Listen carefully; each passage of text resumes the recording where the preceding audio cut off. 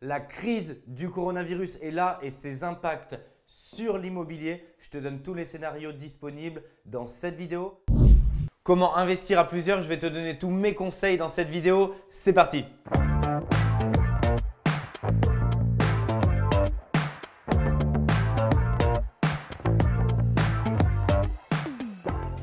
Bonjour les entrepreneurs d'immobilier, bienvenue dans cette nouvelle vidéo où on va voir ensemble comment investir à plusieurs. Alors, je suis souvent sollicité sur cette question.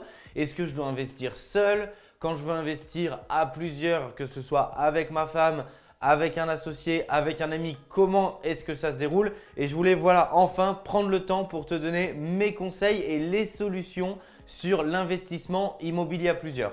Sans plus attendre, je t'invite à cliquer sur le bouton rouge s'abonner, la petite cloche notification qui va te permettre d'être alerté en temps réel pour recevoir les futurs conseils et éviter 99% des erreurs que font tous les investisseurs immobiliers. Reste jusqu'à la fin puisqu'à la fin de cette vidéo, je vais te donner un conseil qu'on a vécu avec mon associé Manuel Ravier quand on a voulu commencer à investir à plusieurs et avec lui ensemble sur nos opérations. Donc reste jusqu'à la fin, je te donnerai un petit conseil personnel là-dessus. Avant, je voudrais qu'on voit ensemble les différents cas de figure et donc ça me permet ici de pouvoir sur ce tableau, quoi, sur ce mur tableau, de pouvoir te donner l'entièreté des conseils. En un, quand tu veux investir à plusieurs, il faut tout de suite que tu puisses différencier est-ce que tu veux investir euh, en indivision, c'est-à-dire en personne physique, ou est-ce que tu veux investir à plusieurs au travers par exemple d'une SCI, c'est-à-dire d'une société. Ça peut être aussi autre chose qu'une SCI, mais je ne veux pas compliquer le modèle. Donc qu'on puisse vraiment différencier. En 1, est-ce que l'achat à plusieurs, il est en personne physique? En 2, est-ce qu'il est en personne morale? Déjà, c'est les deux grandes directions que tu dois te poser. On va voir sur cette première partie qui. Alors ici, quand je dis qui sur l'indivision en personne physique, tu peux très bien vouloir décider d'acheter de l'immobilier avec ta femme, avec euh, ton concubin, ta concubine en fonction de si tu es paxé, si tu es marié.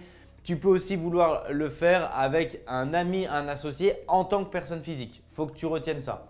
Ici, ce qu'il faut savoir, c'est que la banque, euh, elle va aimer que le schéma soit classique et naturel. Alors c'est pareil, ça ne veut pas dire que c'est impossible. Ça veut dire que ce que je vais te décrire, c'est l'autoroute des revenus locatifs de l'empire immobilier, c'est-à-dire quel est le chemin le plus rapide pour aller du point A au point B. Bien entendu, tout reste toujours possible, mais plus le schéma va être simple, plus tu vas augmenter ton taux de transfert pour obtenir ton financement auprès de la banque. C'est-à-dire que quand tu achètes en indivision, qui tu peux acheter avec ta femme, euh, avec ton mari, jusque-là, pas de problème, la banque, ça va être classique, elle va être OK. Si tu veux acheter, par exemple, avec un associé. C'est déjà le cas de figure numéro 2. La banque va juste regarder s'il y a beaucoup d'historique ou pas. Si vous avez plein de business ensemble que ça fait des années, ça va pas spécialement poser de problème parce qu'elle va se dire que finalement tu as tellement de business avec lui ou avec elle que tu es lié, que c'est aussi liant qu'un contrat de mariage presque pour faire simple. Si tu démarres un business, que tu as juste un cabis, ça fait deux semaines que tu as monté un premier business avec ton associé, que tu veux acheter de l'immobilier euh, en indivision avec lui, la banque, elle va pas beaucoup aimer. L'autre cas de figure, c'est tu achètes avec une autre personne qui a, n'as pas de lien de parenté avec, ni de business avec, et par exemple c'est un ami. C'est pareil, ce, sera, ce que je vais te dire, ce sera jamais impossible. Je le mets en rouge, ça veut pas dire que c'est impossible. Ça veut dire que ça va être plus compliqué de le faire. La banque, elle va regarder, elle va dire oui, mais si demain vous êtes plus amis, si demain il déménage, il habite à l'autre bout de la France, à l'autre bout du monde, bon, quid de l'appartement? Donc c'est pas forcément ici à privilégier parce qu'elle va vraiment pas aimer. Tu vas le voir. Je t'invite à mettre en commentaire si tu as déjà essayé de l'acheter de l'immobilier avec un ami. Encore une fois, je ne suis pas en train d'essayer de te prouver que c'est impossible et que c'est non. Je vais forcément avoir tort dans un certain cas de figure. Je suis en train de te dire l'autoroute pour le plus simple. Le but, c'est pas que pour acheter un appartement, ce soit le 110 mètres et avec des, des haies qui font 1m50 et que ce soit hyper compliqué. Donc j'aurai forcément tort dans des cas de figure. On va avoir des exemples et bravo mais ce n'est pas la peine de te mettre le maximum de difficultés pour acheter de l'immobilier. Euh, combien ici? Bon, bah ici, franchement, max, il faut que ce soit deux personnes. Ne t'emballe pas à faire une indivision euh, à quatre. Tiens, je voudrais acheter avec ma femme et j'ai un couple d'amis à, un autre. Et c'est souvent ce que je dis. Pareil, parce qu'au-delà, ça va compliquer pour la banque. Mais aussi, franchement, faut t'imaginer que l'immobilier, c'est ça. Si par exemple tu te dis oui, j'ai un projet à 400 000, donc voilà, j'ai un projet ici, c'est mon appart et ça fait 400 000 euros ici. Et euh, il y a deux couples d'amis, on, voudrait le faire avec un autre couple d'amis, donc c'est deux couples qui achètent. Donc tu as un couple ici et un couple ici. Bah écoute, j'ai envie de te dire, oublie. Ça veut dire que ici tu vas lever 200 000 euros. Bah tant qu'à faire, et fais plutôt une opération avec ta femme à 200 000 euros. Pourquoi? Parce que de toute manière, si c'est pour diviser le gâteau, diviser le gâteau, diviser le gâteau, bah oublie si tu veux faire avec un couple d'amis et fais plutôt une opération avec ta femme à 200 000. Encore une fois, ça va être mille fois plus facile en financement auprès de la banque. Là, c'est intéressant. On va parler fiscalité ici. Fiscalité sur l'indivision, il y a deux points positifs. La revente, c'est un point positif. Je te le mets en vert. Pourquoi c'est un point positif la revente? Parce que plus le temps passe, plus ton imposition sur la plus-value va diminuer.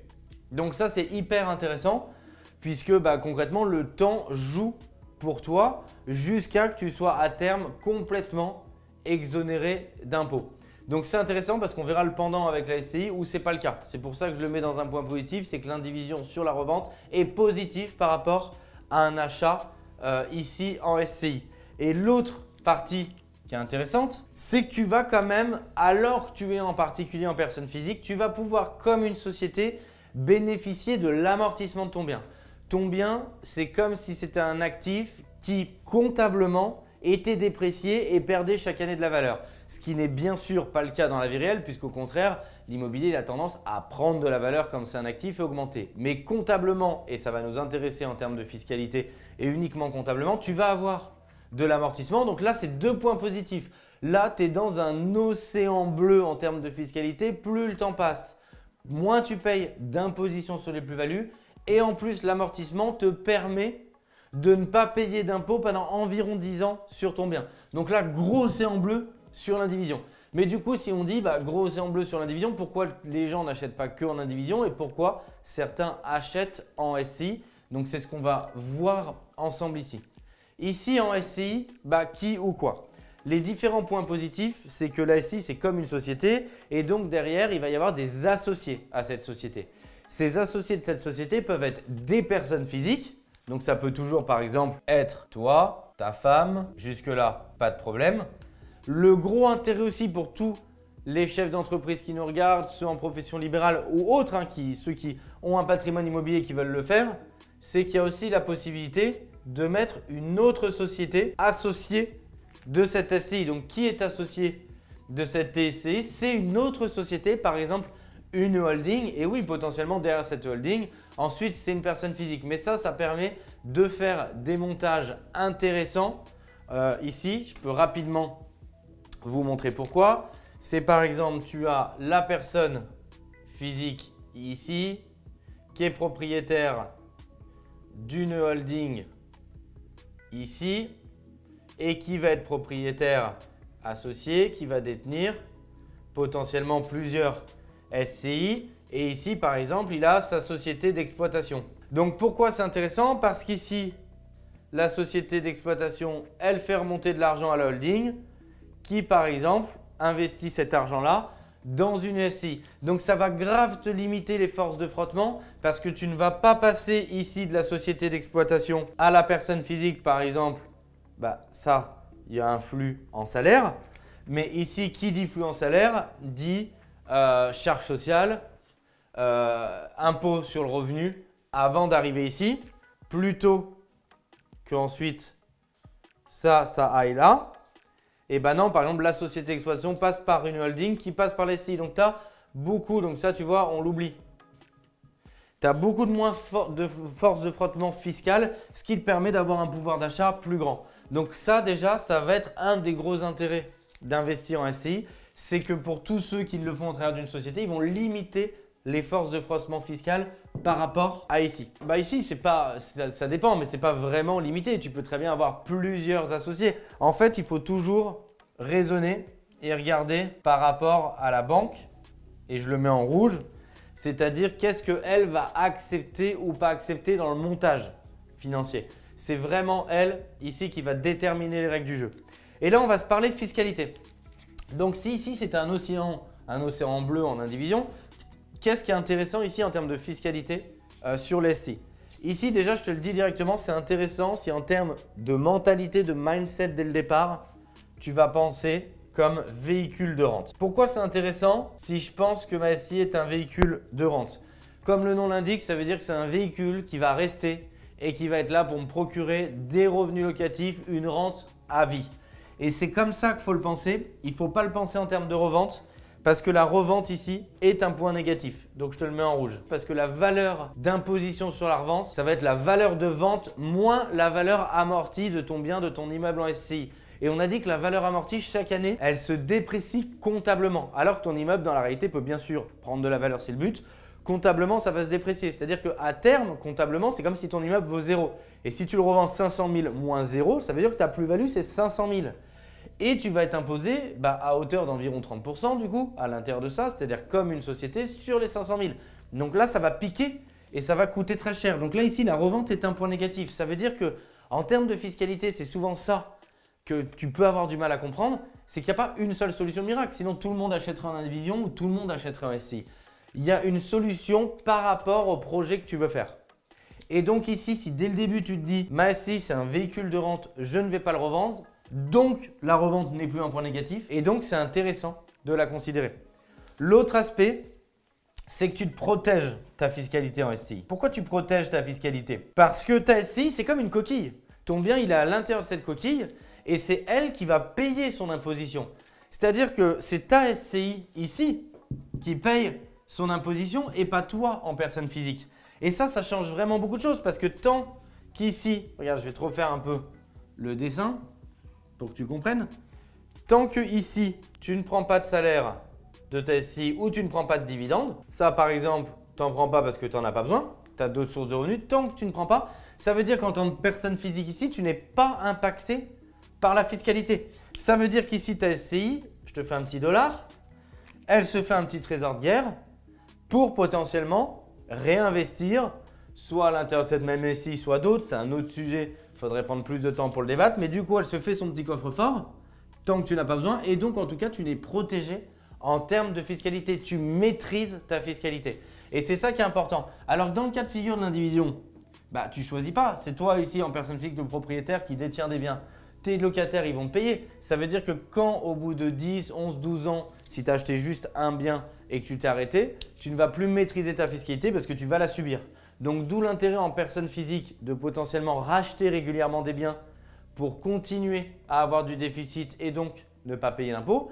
Mais le jour où tu t'arrêtes, forcément, au bout d'un moment, tu vas payer des impôts. Et donc, tu ne maîtrises pas ta fiscalité, tu la subis parce que tu ne peux pas te protéger, il n'y a pas de lien. C'est toi qui es directement propriétaire de tes biens.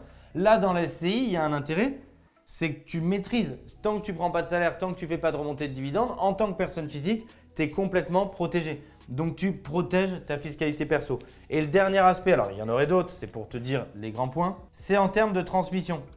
Là, c'est intéressant parce que c'est une société, tu as des parts de société et tu vas pouvoir, en respectant bah, certains quotas, pouvoir transmettre petit à petit cette société à par exemple tes enfants avec le moins de frottements fiscaux, ce qui ne serait pas le cas ici. Il y aurait beaucoup de frottements fiscaux lors d'une transmission, que ce soit en succession ou autre. Donc ça vraiment, retiens-le, c'est intéressant. Il faut vraiment que tu le considères comme un véhicule de rente et que tu considères le fait que ça va être intéressant demain pour la transmission.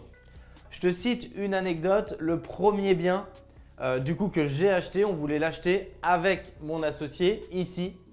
On était dans cette partie-là. C'est un bien que je détiens toujours, c'est même trois biens parce que c'est une division en trois appartements, que je détiens toujours du coup avec ma femme. Pourquoi? Parce qu'on venait de commencer à créer nos business et c'est ce que la banque nous a dit ici. C'est ce que je te disais en début de vidéo. Elle a dit il n'y a pas assez d'historique, même pas pas assez d'historique des sociétés. Hein. Il n'y a pas assez d'historique dans le temps entre vous. Et donc, je ne veux pas vous prêter. Bon, depuis, on a pu se rattraper parce qu'il y a eu de l'historique et on s'est vengé.